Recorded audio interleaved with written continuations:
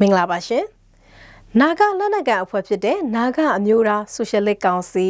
NSCNK အဖွဲ့နဲ့ခွဲထွက်ရေးအဖွဲ့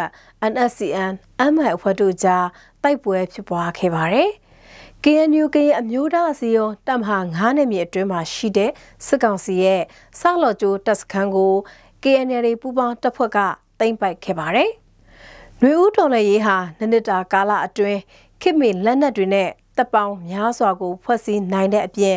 တိုင်းရင်းသားလက်နက်ကန်အဖွဲ့အစည်းတွေနဲ့ဖက်ဒရယ်ဒီမိုကရေစီတည်ဆောက်ရေးအတွက်ညီနိုင်မှုတွေကိုလှုံ့ဆော်နေပြီလို့အန်ယူဂျီယာယီတမဒဒူဝါလက်ရှိလာကပြောဆိုလိုက်ပါတယ်။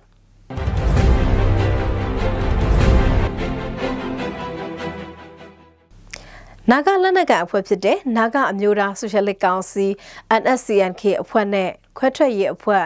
NSCN အန်မိုင်အဖွဲ့တို့ကြားတိုက်ပွဲဖြစ်ပွားခဲ့ပြီးခွဲထွက်အဖွဲ့ဘက်က3ယောက်သေဆုံးခဲ့ပါတယ်။နာဂလက်နက်ကန်အဖွဲ့ဖြစ်တဲ့ NSCNK နဲ့ခွဲထွက်ရေးအဖွဲ့ NSCN အန်မိုင်အဖွဲ့တို့စက်တင်ဘာလ9ရက်နေ့ကစကိုင်းတိုင်းလဟေမြို့နယ်ဂိုင်းဆန်လုံးချမ်းကျေးရွာအနီးမှာတိုက်ပွဲဖြစ်ပွားခဲ့ပြီးတိုက်ပွဲအတွင်း NSCN အန်မိုင်အဖွဲ့ဘက်ကတိစုံမှုတွေရှိခဲ့တာဖြစ်တယ်လို့နာဂလက်နက်ကန်အဖွဲ့နဲ့နီးစပ်သူတူကပြောပါတယ်။ NSCN အန်မိုင်ခွဲထွက်အဖွဲ့ကဂိုင်းဆန်လုံးချမ်းဘက်ကိုစစ်ကြောင်းထိုးသွားတဲ့အချိန် NSCNK ရုံးအောင်အဖွဲ့က NSCN အန်မိုင်ခွဲထွက်အဖွဲ့ရဲ့စခန်းကိုဝင်ရောက်တိုက်ခိုက်ရာကနေတိုက်ပွဲဖြစ်ပွားခဲ့တယ်လို့ဆိုပါတယ်။တိုက်ပွဲအတွင်း NSCN MI အဖွဲ့က3ယောက်သေဆုံးပြီးတိုက်ပွဲဖြစ်ရတဲ့အဓိကအကြောင်းရင်းကိုတော့မတည်ဘူးလို့ပြောပါရယ်ဗိုလ်ချုပ်ကြီးအန်မိုင်ဟာကွယ်လွန်သူ NSCNK ဥက္ကဋ္ဌဟောင်း ကပ်ပလန်ရဲ့ကိုရေးအရာရှိလောက်ကင်ခဲ့သူဖြစ်ပြီး2023ခုနှစ်ဇွန်လ28ရက်နေ့မှာဗိုလ်ချုပ်ကြီးရာထူးနဲ့ NSCNK အဖွဲ့ကနေခွဲထွက်သွားတာဖြစ်ပါတယ်။နာဂအမျိုးသားဆိုရှယ်လစ်ကောင်စီ NSCNK အဖွဲ့နဲ့ခွဲထွက်ရေးအဖွဲ့ NSCN အန်မိုင်အဖွဲ့တို့အကြားအခုနှစ်ဇွန်လကလည်းနှစ်ကြိမ်ထက်မနည်းတိုက်ပွဲဖြစ်ပွားခဲ့ကြပြီးအဲ့ဒီတိုက်ပွဲတွေမှာလည်းထိခိုက်ဒေဆုံးမှုတွေရှိခဲ့ပါတယ်။ KNU ကရင်အမျိုးသားစီယုံမူတော်ခရိုင်တမဟာ9နယ်မြေလူတော်မြို့နယ်ခေးပူကျေးရွာအုပ်စုမှာရှိတဲ့ဆောက်လော်ကျိုးစစ်ကောင်စီတပ်စခန်းကိုကရင်အမျိုးသားလွတ်မြောက်ရေးတမတော် KNL ပူပေါင်းတက်ကတက်ရောက်တိုက်ခိုက်သိမ်းပိုက်နိုင်ခဲ့တယ်လို့မူတော်ခရိုင်ကတည်င်းထုတ်ပြန်ထားပါတယ်။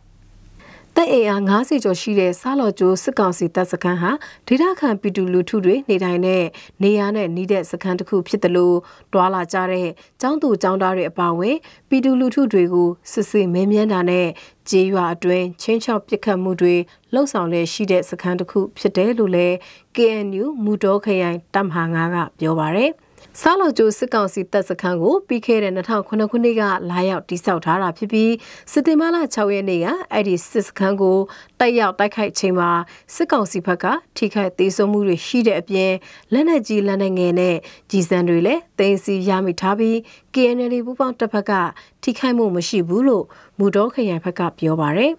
စခန်းကိုတင်ပိုက်ပြီးတဲ့နောက်စစ်တင်ဘာလ9ရက်နေ့မှာလူတော်မြို့နယ် ကောလူဘောထရွာတေတုခေကြီးရွာနဲ့ဒေးပူနို့ကြီးရွာအုပ်စုတွေဖက်မှစစ်ကောင်စီတိုက်ခိုက်ရေးလေရင်နှစင်းနဲ့လာရောက်ဘုံကျဲတိုက်ခိုက်မှုတွေလှုပ်ဆောင်သေးတယ်လို့ KNU မူတော်ခရိုင်ထုတ်ပြန်ချက်ထဲမှာဖော်ပြထားပါတယ်။ဒီသတင်းကိုကရင်သတင်းစင်ကပေးပို့ထားတာဖြစ်ပါတယ်။ကချင်ပြည်နယ်မြောက်ဖျားပိုင်းဘူတောင်ခရိုင်မှာအော်ဂုလာအတွင်းရေခဲတောင်ထွက်ဘေချီစေဥရှာဖွေရင်းတိတ်ဆုံးသူ9ဦးအထိရှိလာတယ်လို့ဘူတောင်ဒေတာခန်ကပြောပါတယ်။ တိတ်ဆုံးသွားတဲ့သူတွေထဲမှာအမျိုးသမီးတွေလည်းပါဝင်တယ်လို့ဆိုပါတယ်။အဲ့ဒီဘေချီစေဦးဟာရေခဲတောင်ပေါ်နဲ့ပင်လယ်ရေမျက်နှာပြင်6000ကျော်အထက်ကြောက်ဆောင်ကြောက်ခဲရိချားနဲ့တောင်ထိပ်တွေမှာပေါက်တဲ့စေဦးတစ်မျိုးဖြစ်ပြီးခက်ခက်ခက်ခဲရှာဖွေကြရတယ်လို့ဘူဒါအောင်ဒေတာခံတယောက်ကပြောပါတယ်။ဘေချီစေဦးကိုရေခဲတွေအရေးပြိုသွားတဲ့အချိန်ဩဂုတ်လကနေစတင်က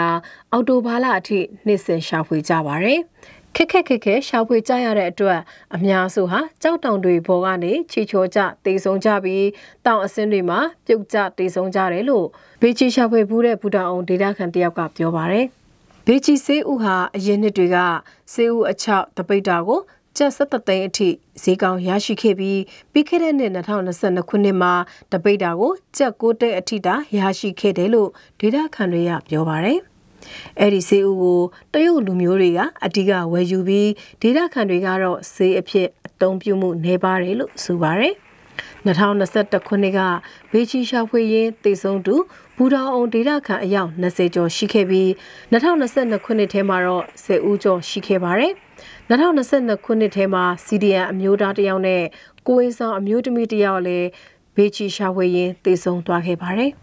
ဒေတာခန်ဘာသာစကားနဲ့ဘေချီကိုလမ်ပဟုခေါ်ဆိုကြပြီးရေခဲတောင်တွေဖြစ်တဲ့ခါကာဘိုရာစီဖုန်ကန်ရာစီဖိုရရာစီနဲ့မဒွေရာစီစတဲ့တောင်တွေရဲ့ကြောက်ဆောင်ကြောက်ကံပါကြောက်ဖြာတွေမှာပေါက်ရောက်တဲ့တစ်ဦးဖြစ်တယ်လို့စေဥရှာဖွေသူတွေကပြောပါတယ်ဘူတောင်ဒေတာရှိရေခဲတောင်တွေမှာမြန်မာနိုင်ငံရှိရှားပါတဲ့တဘာဝဆင်းမြစ်စေဥတွေဖြစ်တဲ့ဘေချီရှိပဒီခန်းတောက်မြစ်ခမရ စားချီစတဲ့စစ်ဖက်ဝင်တဥတစ်ဖူတွေထွက်ရှိတဲ့ဒေတာတစ်ခုဖြစ်ပါတယ်။စစ်ကောင်စီကျင်းပမဲ့ရွေးကောက်ပွဲကိုကရင်ပြည်နယ်အတွင်းမှာဝင်ရောက်ရှင်ပြိုင်နိုင်ဖို့အတွက်မွန်တိုးတက်ရေးပါတီနာမည်နဲ့တီထောင်ခွင့်လျှောက်ထားပေမဲ့မွန်ညညွတ်ရေးပါတီမူဝါဒအတိုင်းဆက်လျှောက်လမ်းသွားမယ်လို့မွန်တိုးတက်ရေးပါတီတာဝန်ရှိသူတွေကပြောပါတယ်။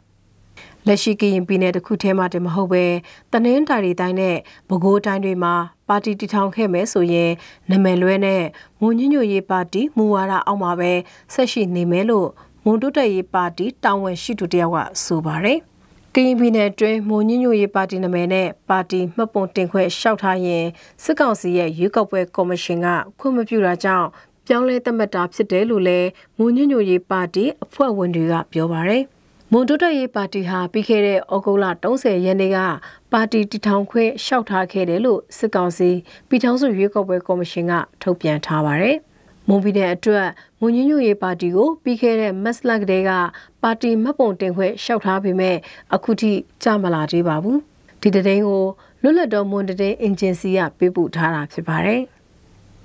ရှမ်းပြည်နယ်တောင်ပိုင်းဖေခုံမြို့နယ်အတွင်းကဝင်းလံခေါင်ဖျားတဲ့စစ်ရှောင်းစခန်းတစ်ခုမှာအလူရှင်လာရောက်မှုနေပါတာကြောင့်စားနပ်ရိက္ခာတွေလိုအပ်နေတယ်လို့စစ်ရှောင်းကူညီသူတွေကပြောပါတယ်။အဲ့ဒီစစ်ရှောင်းစခန်းဟာတခြားစစ်ဆောင်စခန်းတွေထက်လူဦးရေပိုနေသလိုအလူရှင်တွေရဲ့ပံ့ပိုးကူညီမှုကလည်းပိုအားနေတာကြောင့်စစ်ပေးရှောင်ပြည်သူတွေဟာစိတ်အားငယ်မှုတွေစိတ်ထိခိုက်မှုတွေခံစားနေရတယ်လို့မြေပြင်စစ်ဆောင်အရေးကူညီပေးသူတူကပြောပါတယ် ပြောမယ်ဆိုရင်လူဦးရေကတော့နည်းပေါ့နော်နောက်ပြီးလို့ရှိရင်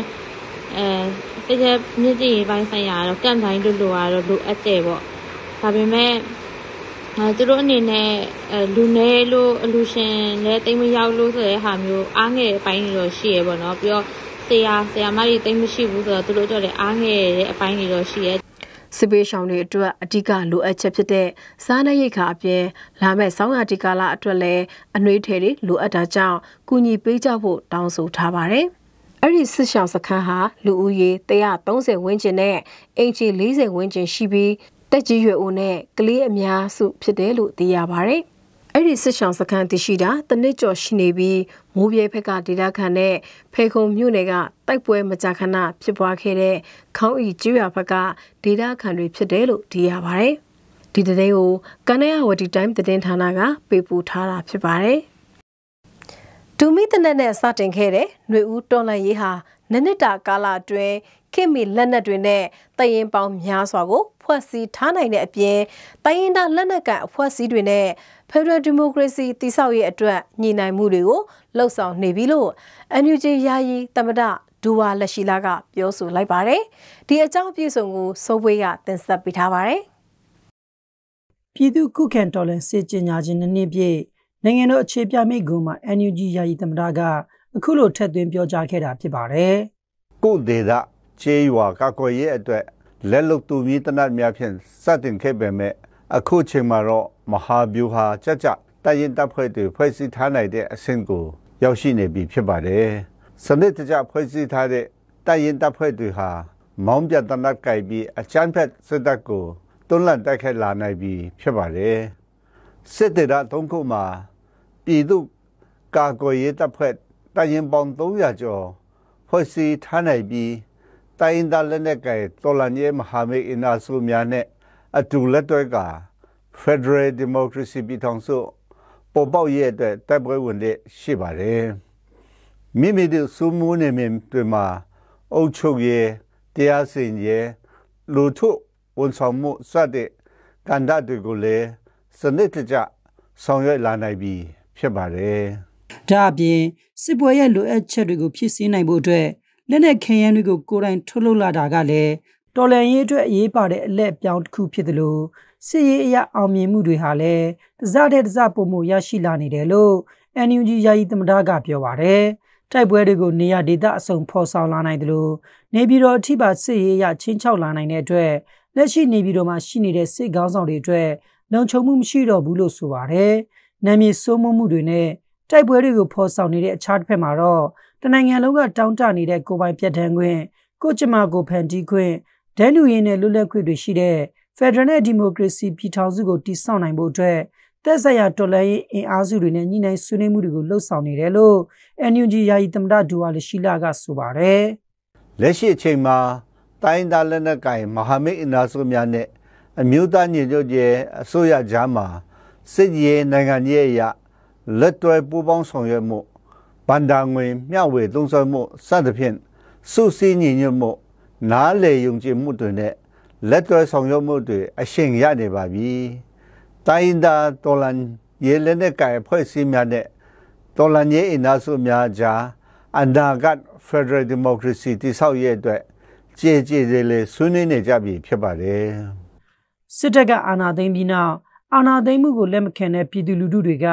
ငြိမ်းချမ်းစွာဆန္ဒထုတ်ဖော်ခဲ့ကြသလို2020ခုနှစ်ရွေးကောက်ပွဲအနိုင်ရလွတ်တော်ကိုယ်စားလှယ်တွေကလည်းပြည်ထောင်စုလွတ်တော်ကိုစားပြုကော်မတီ CRPH နဲ့အမျိုးသားညီညွတ်ရေးအစိုးရ NUG ကိုဖွဲ့စည်းခဲ့ပါတယ်။ဒါအပြင်ပြည်သူ့ကာကွယ်ရေးတပ် PDF တွေကိုလည်းတရားဝင်ဖွဲ့စည်းကြောင်းကြေညာခဲ့ပါတယ်။